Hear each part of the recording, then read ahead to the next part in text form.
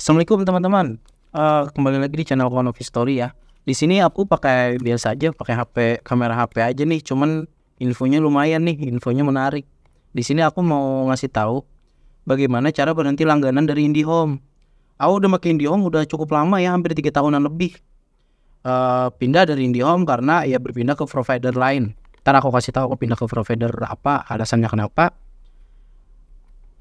Jadi di sini aku mau ngasih tahu bagaimana caranya berhenti langganan dari IndiHome. Sebenarnya kata teman aku juga, kalau kalian mau berhenti langganan IndiHome bisa dengan cara kayak gini aja. Nggak usah dibayarin IndiHome-nya.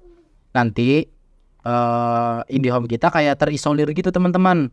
Nah di situ nanti gara-gara terisol terisolir nggak bisa dipakai kan IndiHome-nya ya udah emang kita kan mau berhenti biar aja barangnya di situ. Tapi kalau misalkan tiba-tiba kita pengen pakai lagi IndiHome-nya tinggal kita bayarin tunggakan isolirnya yang biasanya sesuai dengan per bulan kalian. Walaupun nanti kalian menunggaknya entah satu tahun dua tahun tetap yang dibayarnya satu bulan.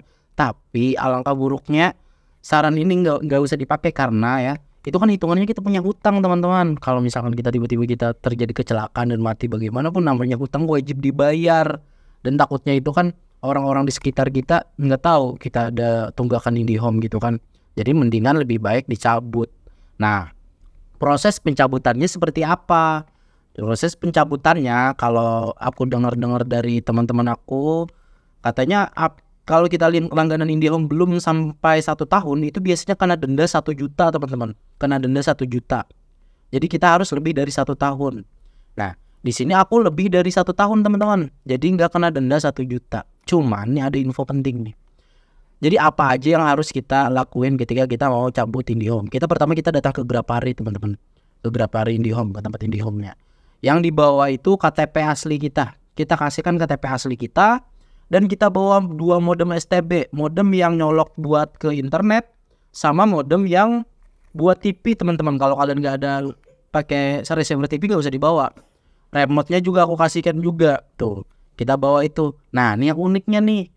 Pas aku kan bayar IndiHome biasanya mulai uh, jatuh temponya tanggal 20 teman-teman. Nah, ini aku ngelakuin pencabutan IndiHome-nya tanggal 20 juga. Yang lucunya di sini ketika aku mau bayar, aku disuruh ngelunasin IndiHome aku yang bulan ini kan emang jatuh temponya di tanggal 20 kan. Nah, di sini tagihan Juli Juli pakai Juni 371.800 ya teman-teman ya ternyata ada lagi tambahan tagihan berjalan. Juli sampai 20 hari 236 ribu lagi teman-teman. Di sini aku yang nggak ngeh nih nggak ngerti nih. Maksudnya ada tagihan berjalan lagi gimana?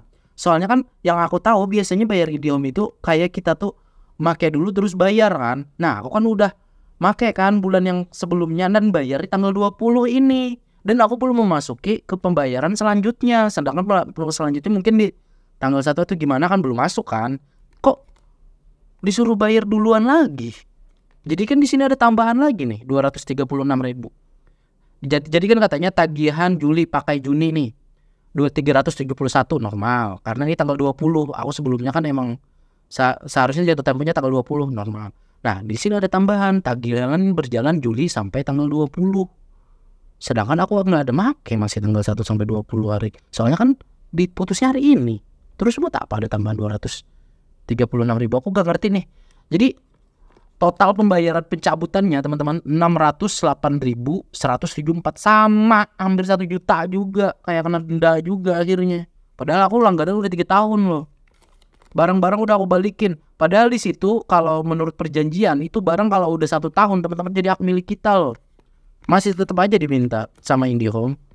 Jadi buat kalian jujur aku nggak ngerti sih sama proses IndiHome kayak gini nggak ngerti jadi buat kalian ya yang ngerti maksudnya bagaimana nih tagihan berjalan Juli sampai 120 ini yang selanjutnya ini tambahan 200 ini tolong balas di kolom komentar. Soalnya aku kan yang aku tahu kan aku bayar per bulannya 371 dan seharusnya aku bayarnya emang jatuh temponya tanggal 20 kan dan aku pencabutan dilakukan tanggal 20.